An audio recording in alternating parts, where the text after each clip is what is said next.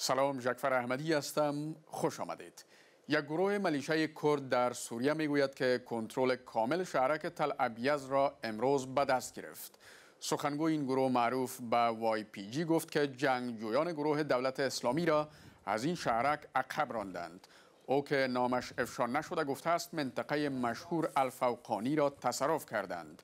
جنگجویان داعش دیروز در یک حمله ناگهانی و پس از درگیری شدید کنترل این منطقه را در دست گرفته بودند. تعداد قربانیان گرمی هوا در ایالت سند پاکستان به بیش از 1250 تن رسید.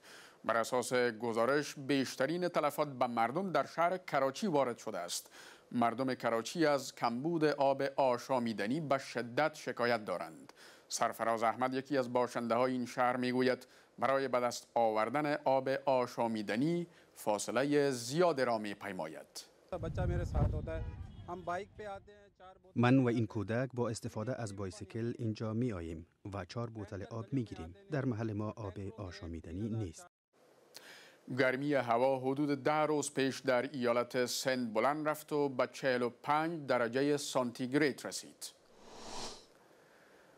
و سازمان ملل متحد می‌گوید تعداد پناهجویانی که از طریق بایره مدیترانه به اروپا می روند در شش ماه اول سال روان میلادی بیش از 80 درصد افزایش یافته است. این سازمان امروز در یک گزارش گفت که شمار این افراد به 137 هزار تن می رسد.